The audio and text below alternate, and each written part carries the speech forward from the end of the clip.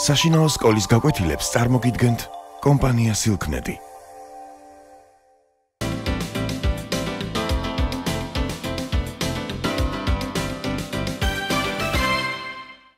მოგესალმებით, ჩვენ დღეს დავიწყებთ საუბარს ვაჟებშაველას პოემაზე ალუდა ქეთელაური, რომელიც ჩემი ღმერთმენით ერთ-ერთი საუკეთესო პოემაა ქართულ ლიტერატურაში შექმნილთა შორის.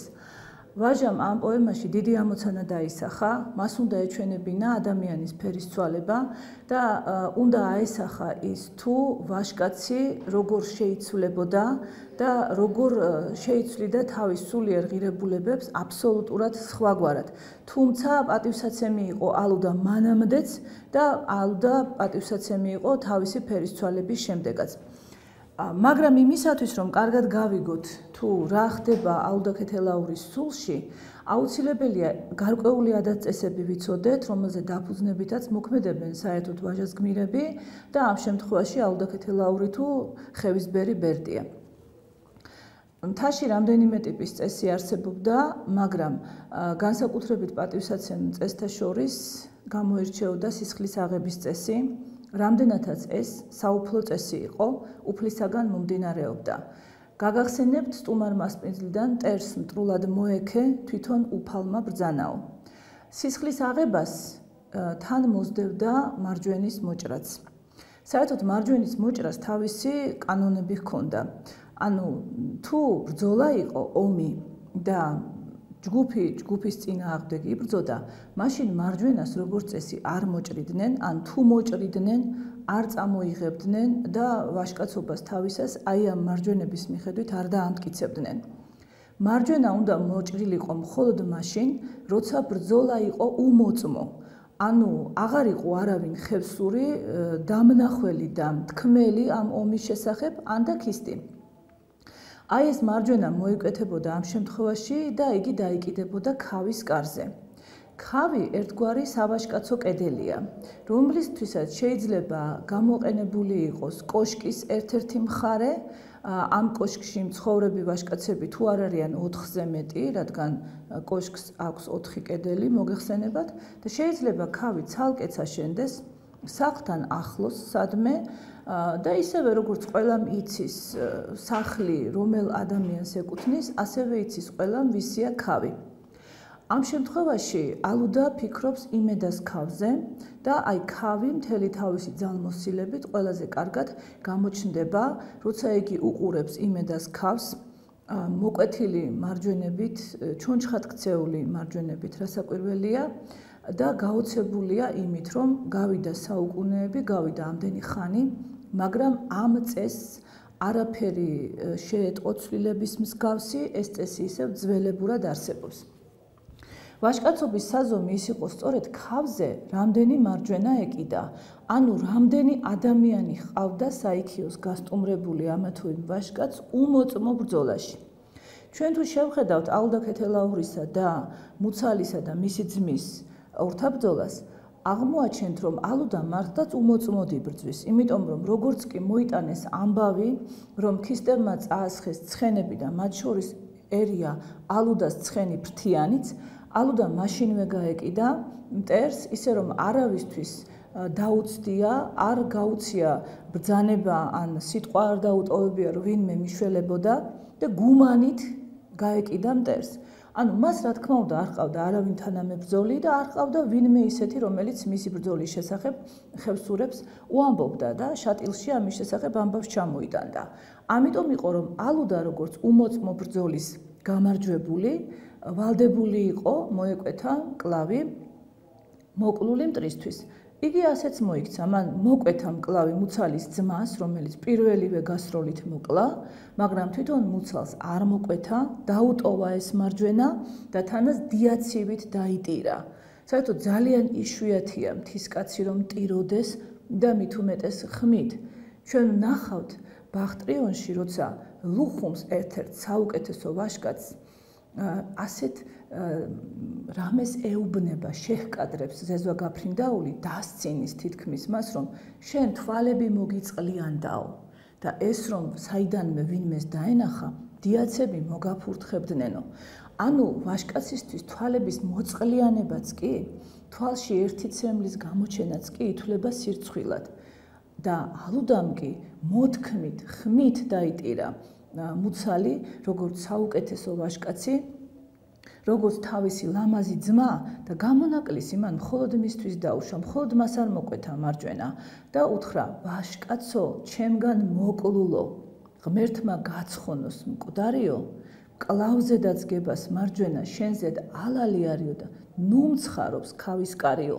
ანუ მან თქვა ამით, რომ არ შეიძლება მუცალისნაირი ვაშკაცების მკლავებით ვიამაყოთ ჩვენ და ქავი ამით გავამდიდროთ, რომ ასეთი ბიჭი გავისტუმრეთ იმ ქვეყნად და ეს იყოს ვინმესთვის საამაყო და საქედმაღლო. ადამიანი არ მოდის იმისთვის, რომ მან სხვა სიცოცხლე მოუსწრაფოს, მით უმეტეს ასეთ გამოჩენილ და გამორჩეულ ვაშკაც. ამიტომაც დაუშვა, როგორც გითხარით, ალუდამ გამონაკლისი მხოლოდ მუცალისთვის. ტახტაზე, ანუ ცხენის უნაგირზე, მან დაკიდა მუცალის ძმის მკლავი და ისე დაბრუნდა, მაგრამ სოფლისთვის აბსოლუტურად გაუგებარი აღმოჩნდა აუდას ასეთი საქციელი და უთხრეს: "ტერს თუ მისდევდი და კლავდი, მარჯვენას რატომ აღარ ჭრიდიო?" და მათთვის უფრო ადვილი იყო ეფიქრათ, რომ ალუდამ ცოცხალი გაუშვა ის ქისტი ან გამოიქცა თვითონ და ვერ გაბედა მასთან ბრძოლა, მიუხედავად იმისა, რომ ალუდას იმდენი კაცი ყავდა მოკლული და იმდენი ხელი ეკიდა მის ხავზე, რომ რიცხვი ამისი არ იცოდა არავინ. ბერდია ხევისბერი მას ეუბნება შენს ხავზე ხელები ჯღრდესავით კიდიაო. ჯღრდე არის გაბურძგნული, ასე რომ ვთქვათ, წვერი მაგალითად. ანრა და შეიძლება ერთად მოგროვებული, ვთქვათ, ფარები, ან რამე ასეთი, ბევრი. ანუ იმიტომ ამბობს ამას ბერდია, რომ უამრავი კაცი ყავს მართლაც ალდას მოკლული, უამრავი მარჯვენა კიდია მის ხავზე, მაგრამ ამის მიუხედავად მტრისთვის მარჯვენის მოუკეთლობა იმდენად ძნელად გასაგები იყო ხევსურთათვის, რომ მათ ალუდას ლაჩრობა უფრო იოლად დასაჯერებელ საქმედ ჩათვალეს, ვიდრე ალუდას მიერ მარჯვენის მოკვეთაზე უარის თქმა. თუმცა აქვე უნდა შევნიშნოთ, რომ ეს არ გამხდარა ალუდას თემიდან მოკვეთის მიზეზი. ამაზე ჩვენ სხვა დროს ვილაპარაკებთ, როცა შევეხებით ამ ნაწარმოების პრობლემატიკას. ამჟამად ვთქვათ მხოლოდ, რომ ალუდას როგორც უმოწმო ომის წარმმართველს ევალებოდა მოეკვეთა მარჯვენა დაეკიდა ეს მარჯვენა ხავზე და ამით თავისი სახელისა და ვაჟკაცობისათვის კიდევ ერთი მარჯვენა შეემატებინა და კიდევ ერთი ნიუანსი შემატებოდა მის ვაჟკაცობას. თუ გახსოვთ, როცა მინდია აუდას მეგობარი ბრუნდება და მოაქვს მას მუცალის მოკვეთილი მკლავი, მაშინაც ალდა საშინელ პროტესტ გამოთქვამს ამის გამო, მაგრამ მანამდე, როცა მინდიამ დაუცაცხანა ხევსურებს და უბრძანა გაჩუმებულიყვნენ და არ ეკადრათ ალუდასთან დაკავშირებით რაიმე ცუდის თქმა, იქ ვაჟა შენიშნავს. გაჩუმდნენ, აბა რა ეკნათ 12 ქისტის მამკლავი იყო.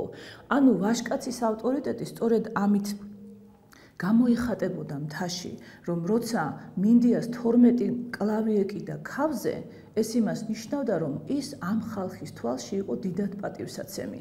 მას იოლად ვერავინ გაეხუმრებოდა და მის წინააღმდეგ იოლად ვერავინ ვერაფერს იტყოდა. ამიტომ მარჯვენის მოკვეთის წესი და ხავზე აი ამ მარჯვენის დაკიდების წესი ერთ-ერთი უმნიშვნელოვანესია, რომელიც კარგად უნდა გავიაზროთ აუდა ქეთელაურის პრობლემის გასაგებად. ალუდას თავიდან ვაჟა ასე გვაცნობს. ალუდა ქეთელაური კაცია დავლათიანი. დავლათიანი ნიშნავს ღვთისგან დალოცვილს. თაში ასე ეძახიან განსაკუთრებით გამორჩეულ ვაჟკაცებს.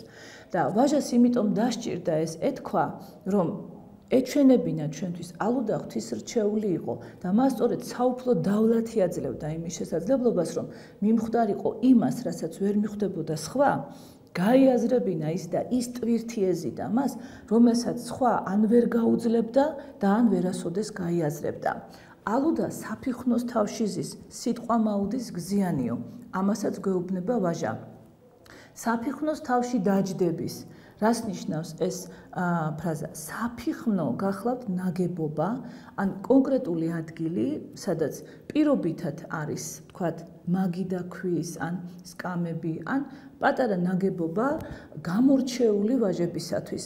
საფიხნოში შეიკრიბებიან ამა თუ იმ თემის განსაკუთრებულად პატივსაცემი კაცები და ძირითადად საფიხნოში წდება ყველაზე უფრო მნიშვნელოვანი საკითხები ამა თუ იმ სოფლის, ამა თუ იმ თემის ცხოვრებაში.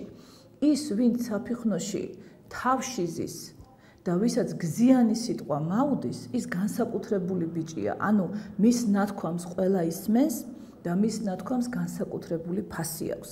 აი ამიტომაც აგვიხსნა ვაჟამ ესეც საფიხნოს თავშეზის ალუდა რომ მკითხველისთვის გასაგები ყოფილიყო რომ ალუდა იმავე წესების წინააღმდეგ იწებდა ბრძოლას რომელთა მიღებაშიც მას მონაწილეობა ჰქონდა მიღებული და იმ შეხედულებების გაპროტესტებას იწებდა რომელთა ჩამოყალიბებაში მას არაერთხელ ქონდა გზიანი სიტყვა, ნათქვამი და არაერთხელ დადასტურებული ის, რაც მისთვის იყო არსებითი შეხედულება და ამ ხალხისთვისაც. ამიტომაც გახდა ცოტა გაუგებარი, ან ძნელად გასაგები ის ახალი სიბრძნე, რომელსაც ქადაგებდა ალუდა ქეთელაური. გველმა ვერ გასჭრა ლიბოი, ასეთ რამესაც ვნახავთ, როცა ალდა ქეთელაური ფიქრობს მინდიას ქავზე. ლიბო გახლავთ საძირკველი და გველი მთის რწმენით იმ სახლში დაიბუდებს, რომლებშიც ან არაკაცები ცხოვრობდნენ, ანუ უღირსი ვაჟები.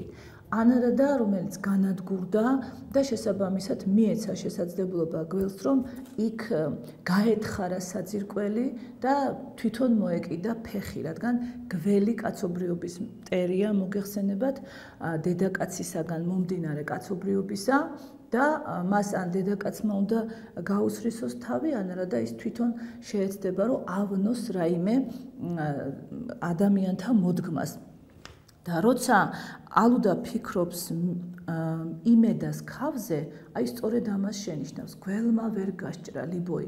აი ამითი უნდა გავიგოთ ჩვენ რომ ეს ქავი და ქავის კანონი ისეთი წესია, რომელსაც ვერც გველი დააკლებს ვერაფერს და რომელიც კიდევ საუკუნეების განმავლობაში შეიძლება გაგრძელდეს. აქ არ შეიძლება გველმა ბუდე დაიდოს. ისეთი ძლიერია ეს კანონი და ისეთი უკვდავი. ასე უნდა გავიგოთ ეს ამბავი და აქვე მივხვდებით როგორ უჭირს უკვე ალუდას ასეთი მნიშვნელოვანი და საფუძველდამდები კანონის წინააღმდეგ ბრძოლა, რასაც იგი შემდგომში დაიწყებს. აა თის რწმენით შუაღამისას, როცა განსაკუთრებით შავბნელი ღამეა, ანდა ძალიან ცუდი ამინდია, ვთქვათ, ასე დროს მიცვალებულთა სულები გამოდიან საფლავიდან. აა ისინი ეჩვენებიან ადამიანებს, განსაკუთრებით იმათ, რომლებზეც ისინი განაწყენებულნი არიან და აი ეს რწმენა მთისა ვაჟამ გამოაჩინა ალდა ქეთელაურის მესამე თავში, როცა იწખებს პირდაპირ ეს არის მკვდართა საფლავებიდან გამოსვლის დრო და სწორედ ამ დროს ეჩვენება მუცალი ალდა ქეთელაურს. რომელიც საშინლად იტანჯება ამ სიზმარში და მუცალის თხოვს მას რომ მოჭრას მარჯვენა, რადგან მას ამაყვაშკაც არ სურს ტრისაგან მიღებული წყალობა. იმ ტრისაგან, რომელმაც ძმას ძმაც მოუკლა და თვითონ იგიც მოკლა. და ამიტომაც ვაჟა აი ამ სურათს იწખებს მკვდართა საფლავებიდან გამოსვლის დროს, რომ გაუგებარი არ იყოს მკითხველისთვის მუცალს რატომ ხედავს სიზმარში ალუდა და თანაც ხედავს როგორც ცოცხალს, რომელიც მას ელაპარაკება, რომელსაც გულზე უწყვია დაკრეფილი მკლავები, რომელსაც ეტყობა გულზე ნატყვიარი, ან რომელიც მართლა ცოცხალივით, ხელახლა გაცოცხლებულივით გამოეცხადა ალუდას. თაში ერთ-ერთი უმნიშვნელოვანესი წესი გახლავთ ხატობის წესი, საერთოდ ხატს, რომელსაც ბატონს ეძახიან თაში, განსაკუთრებულ პატივს ცემენ. მთისკაცები ხატის ყმებად მიიჩნევენ საკუთარ თავს. ძირითადად გუდანისა და ლაშარის ყმები არიან ხოლმე. ალდა ქეთელაური თავის თავს გუდანის ჯვრის ყმას უწოდებს, აქ არ არის საუბარი ჯვარზე, ამ სიტყვის ბარული ნიშნულობით, როგორიც ეს ჩვენ ვიცით. აქ იგულისხმება ცხენზე მჯდომარე მხედარი წმინდა გიორგი წმინდა გიორგის სახეცვლილი ვარიანტია გუდანიც და ლაშარიც. ლაშარის ჯვარი გუდანის ჯვარი ასე ეძახიან მათ მაგრამ სინამდვილეში ეს არის ცხენზე მჯდომარე მეომარი რომელიც გვერდში უდგას და იცავს თავის საყმოს აი როცა იტყვის აუდაქეთელაური თანაც არაერთხელ რომ მე ვარ ყმა გუდანის ჯვრისა და ამიტომ შენ ვერაფერს დამაკლებ და მე აუცილებლად მოგკლავ, როცა მუცალს ესაუბრება, გულისხმობს იგი, რომ აი მის გვერდით და მასთან ერთად იბრძვის ცხენზე მჯდომარე გუდანი. და ცხადია, რომ ისინი ერთად აუცილებლად დაამარცხებენ მუცალს და მუცალის მფარველ ღმერთს. ანუ ალახს. და როცა სხვათა შორის მუცალი კვდება, ჩვენ რომ ამ მომენტს მივაქციოთ ყურადღება, პირველად რასაც იგი იტყვის, ეს არის რა ვუთხრა მადლსა ღვთისასა. ანუ მუცალიც მიხვდება, რომ ამ შემთხვევაში გუდანი უფრო ძლიერი მფარველი აღმოჩნდა თავისი ყმისთვის, ვიდრე ალაჰი თავისი ყმისთვის და გუდანის ჯვარმა და ალუდამ ერთობლივად დაამარცხეს ალაჰი და მუცალი. ხატობა განსაკუთრებულად აღინიშნება მთაში, რადგან ამით ისინი უფლის პატივისცემას თავისი მფარველი ბატონის პატივისცემას გამოხატავენ. ხატობას მთელი წესები აქვს და ყველაფერი კაცის დალოცვა თუ კაცის დაწყევლა თუ კაცის მოკვეთა, ყველაფერი ხატობასთან დაკავშირებული ამბავია და ხატობისას ხდება. გახსოვთ ალბათ რომ ალუდა ხატობისას მიიყვანს კურატს რომ დაამწყალობნოს ხევისბერმა ანუ ხევისბერმა ლოცვა წაიკითხოს აი ამ კურატის დაკლის შემდეგ იმისთვის ვისაც ალუდა ეტყვის. და ხევისბერი გახსოვთ იმიტომ არ კითხულობს ამ ლოცვას რომ ალუდამ გადაწყვიტა ამ კურატის დაკვლით მოიხსენიოს მუცალის სული. მუცალი კი ქისტია, ეს მთელი მამაპაპის ტრადიციის დარღვევაა, რომ ქისტისთვის დაიკლას საკლავიან და მუსლიმანისთვის ილოცოს ხევისბერმა ხატის კარზე. ამიტომ ცხადია ის უარსეუბნება ალუდას და ესეც არის აი ხატობის წესიდან და ხატის კარზე მოქმედების წესიდან გამომდინარე უარი. და როცა ალუდა თავისი ხელით კლავს კურats, ამით იგი საკულტო წესს არღვევს, რადგან კურატის დაკლა მხოლოდ და მხოლოდ ხევისბერ შეეძლო. ნებისმიერი საკლავის, რასაც იქ მიიყვანდნენ, ეს საკლავი მთავარია ყოფილიყო მამალი. ანუ შეიძლებოდა ქათამი, შეიძლებოდა ცხვარიც, მამალი ცხვარი და კურატი ამ შემთხვევაში ყველაზე დიდი შესაძირავია, ეს არის სახარე ხბო, მომავალი ხარი. და ამიტომ როცა ალუდამ მიიყვანა კურატი, მას უნდოდა რომ ამით როცა მიიყვანა კურატი მუცალის სულის ცხონება განსაკუთრებული შესაძირავის ფასად გამოეთხოვა თავისი ბატონისაგან მაგრამ რადგან მან საკულტო წესიც დაარღვია და თავისი ხელით დაკლა კურატი ხევისბერს უკვე შეეძლო იგი მოეკვეთა და მართლაც მოიკვეთეს მოკვეთა მთაში უდიდეს სასჯელად ითვლებოდა. მთაში მიიჩნევენ, რომ სიკვდილი არაფერია მოკვეთასთან შედარებით. სიკვდილი ერთი წუთის საქმეა. გახსოვთ ხევისბერი გოჩა, ასე არიგებს გუგუას, ბალღო იმართლე თავი თუ შეგიძლია, თორემ სიკვდილი რა არის? ერთი წუთის საქმეაო. მოკვეთილი კი მარადიულად უნდა იტანჯებოდეს, თავისი ხალხის სიყვარული არ უნდა ასვენებდეს მას და სიძულვილი ამ ხალხის მხრიდან. აი ამიტომაც მოკვეთა უმძიმესი სასჯელია და მხოლოდ იშვიათ შემთხვევაში მიმართავენ მას. მაგრამ ალუდა ქეთელაური მოიკვეთეს. მოიკვეთეს როგორც თავისი ადაწესების, თავისი კანონების მოღალატე. და ასეც მიუსაჯა ხევისბერმა მოკვეთილიყოს სხვა ქვეყნის ცაღრუბლის შანამზირები. და ერთი პატარა წესიღა, რომელიც საჭიროა გავითვალისწინოთ, რომ ბოლოს დავიწყოთ ამის შემდეგ უკვე აუდოკეთელაურის ანალიზი. ეს გახლავთ საკარგ საკარგ ყმო თასი. ანუ კარგი ყმა, კაი ყმა თაში. განსაკუთრებულ ვაშკაც ქვია. ყველას არ დაუძახებენ კაი ყმას. ეს ვაჟებშიც გამორჩეულია და საკარგ ყმო უნდა დალიოს იმან, ვინც ამ კარგ ყმებშიც გამორჩეული ვაჟია, შეიძლება მას საჩუქრად ცხვარიც მიართვან ხატობის დროს, არა მხოლოდ თასით ლუდი, რომან დალიოს და დაილოცოს და ეს ჩანს ეს წესი, როცა ერთ-ერთი ბავშვი ხუმრობით ითხოვს საკარკმო დამალევინეთ, იმიტომ რომ ქისტი მოვკალიო და ცდილობს მუცალის მარჯვენა თავისგან მოკლული კაცის კაცისთვის მოკვეთილ მარჯვენად გაასაღოს, ასე ვთქვათ, იმიტომ რომ სინამდვილეში ეს არის მუცალის მარჯვენა მინდიასაგან ჩამოტანილი სოფელში. რა თქმა უნდა, მას არ დაალევინებენ საკარკმოს, რადგან ასე შემთხვევით და იშვიათად არ ხდებოდა ასეთი ჯილდოს მიცემა რომელიმე ღირსეული ვაჟკაცისათვის. აი ეს გახლავთ ის წესები, რომლებიც საჭიროა ალდა ქეთელაურის ანალიზისთვის. გმადლობთ ყურადღებისთვის.